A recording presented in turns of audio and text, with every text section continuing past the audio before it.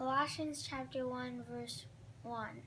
Paul, an apostle of Jesus Christ, by the will of God, and Timothy, our brother. Verse 2 To the saints and faithful brethren in Christ who are in Colossae, grace to you and peace from God our Father and the Lord Jesus Christ.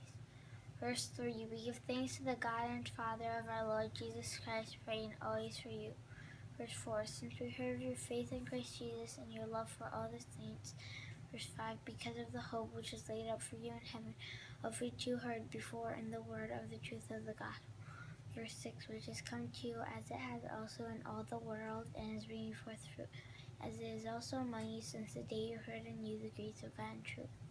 Verse 7 As you also learned from Epaphras, your dear fellow servant, who is a faithful minister of Christ on your behalf. Verse 8 Who has also declared to us your love in the Spirit. Verse 9 For the for this reason, we also, since the day we heard it, do not cease to pray for you and to ask that you may be filled with the knowledge of His will and all wisdom and spiritual understanding. Verse 10 That you may walk worthy of the Lord, fully pleasing Him, being fruitful in every good work and increasing in the knowledge of God. Verse 11 Strengthened with all might according to His glorious power for all patience and long suffering with joy. Verse 12 We give thanks to the Father who has qualified us to be partakers of the inheritance of the saints in the light.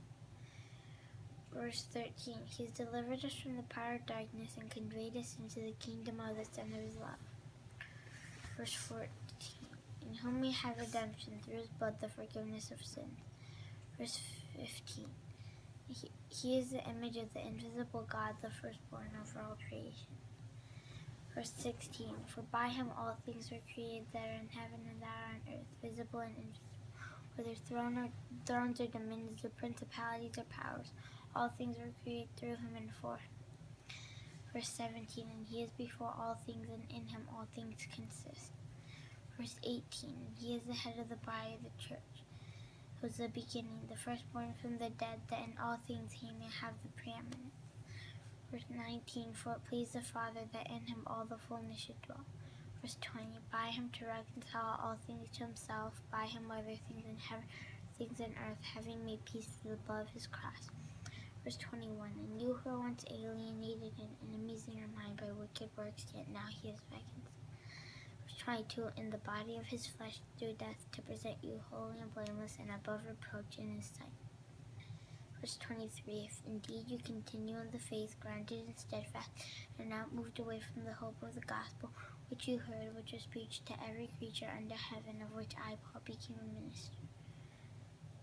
Verse 24 I now rejoice in my sufferings for you, and fill up in my flesh what is lacking in the afflictions of Christ for the sake of his body. Verse 25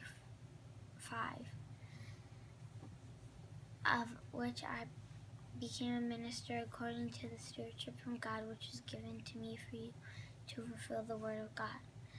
Verse 26 The mystery which is hidden from ages and from generations, but now has been revealed to the saints.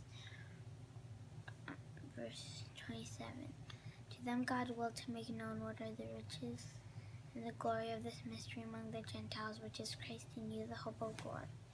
Verse 28 him we preach, warning every man and teaching every man in all wisdom, that we may present every man perfect in Christ Jesus.